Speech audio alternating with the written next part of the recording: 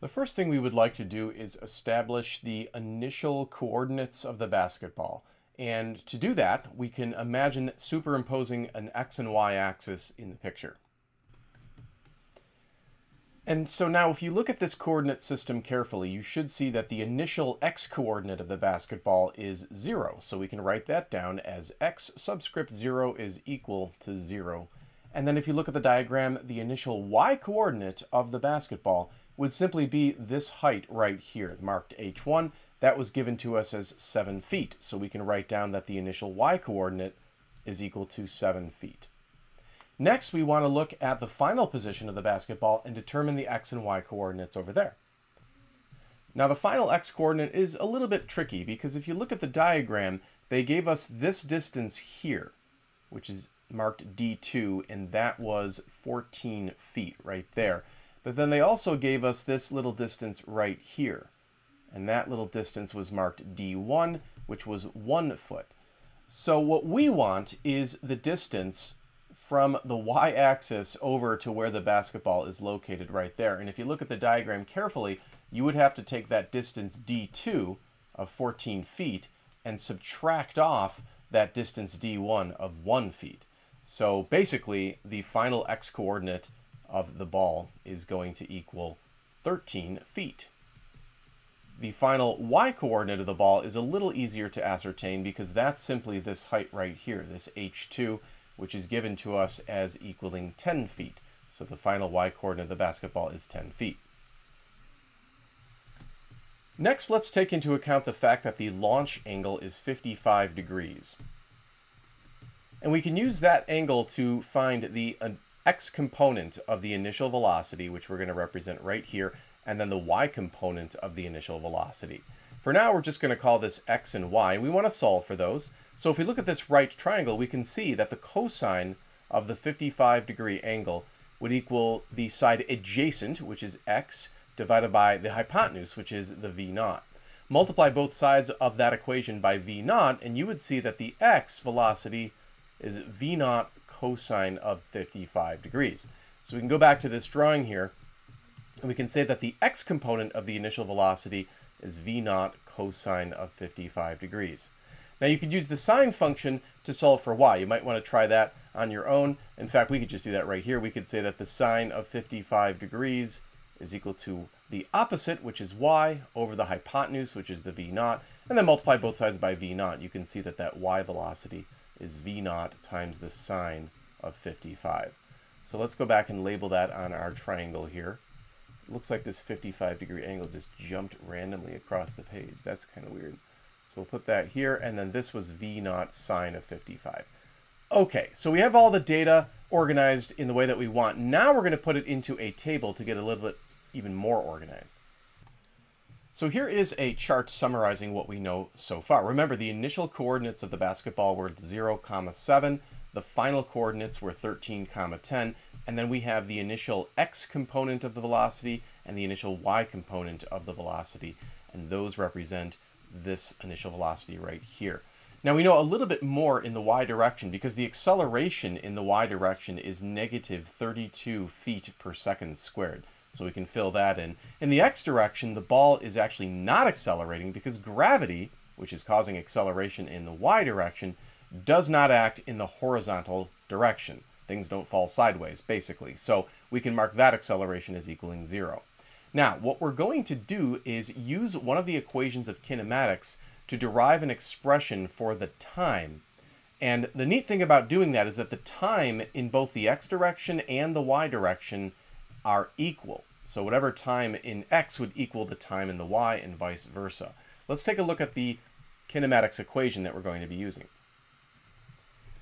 So here is that equation in the x direction. We can start to fill in some of the data. You can go back to the table and derive this information. So the final x coordinate was 13, the initial was 0.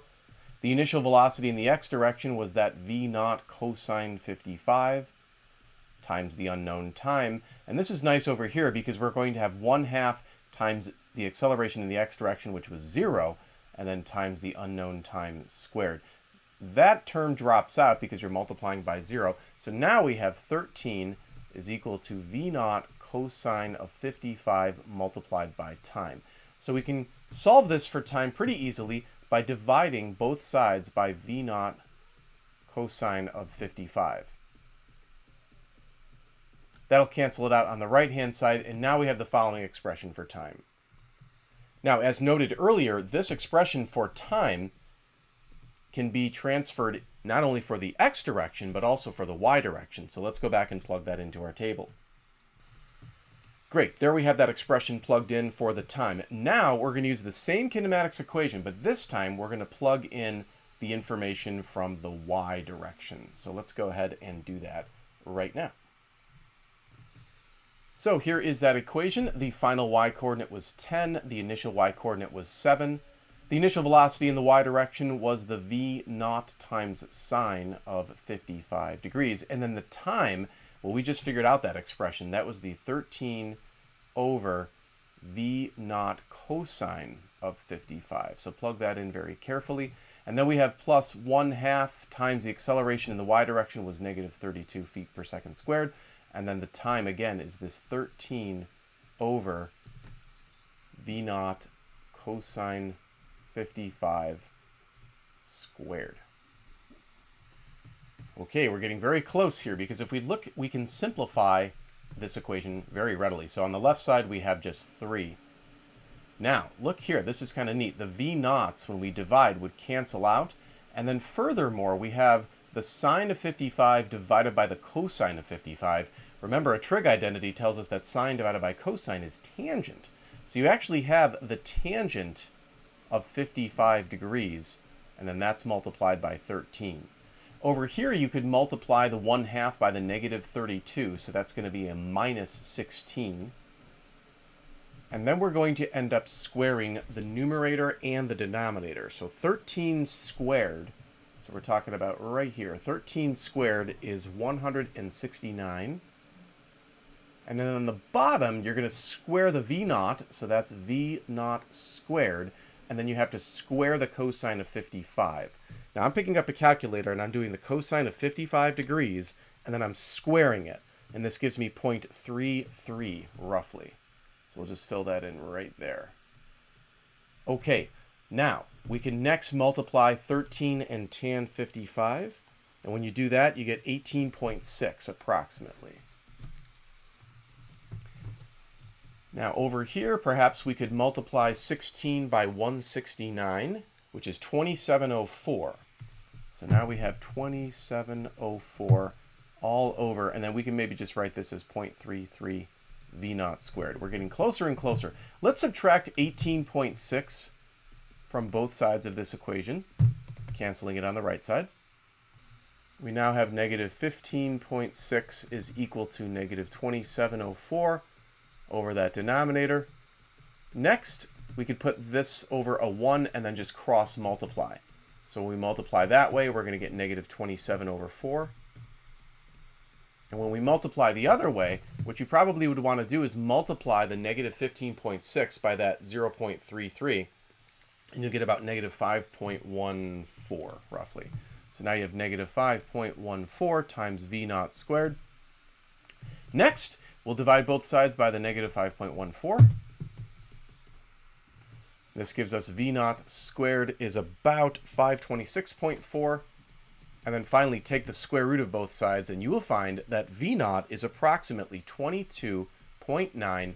And because we were using feet in this question, this will be in feet per second. So this is the correct answer to the question. Thanks for taking the time to watch the video. If you're interested in making a small donation to my cause, I would greatly appreciate it, but please do not feel obligated to do so. I appreciate you taking the time to watch regardless.